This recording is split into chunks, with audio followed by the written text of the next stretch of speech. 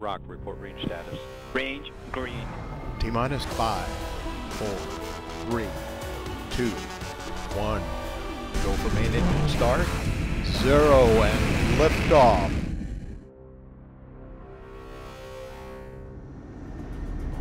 This is no ordinary aircraft, and on board is no ordinary spacecraft. This C5 Super Galaxy is hauling something special.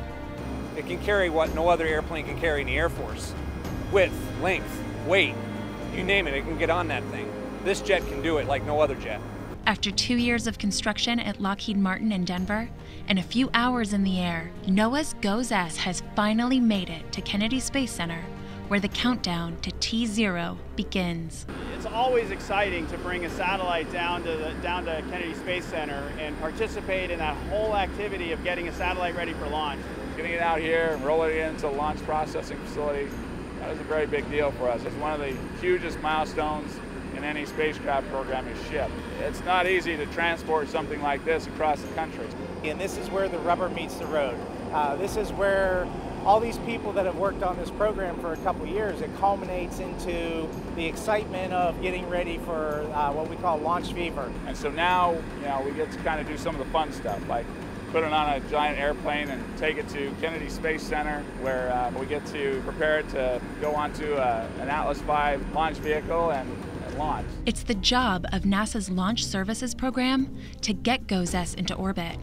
And they have just a few months to do the final launch preps and inspections before T0 arrives. This is no easy task with a spacecraft of this size and complexity. In spaceflight, there are no second chances. A successful launch is resting on their shoulders. It has to be perfect the first time.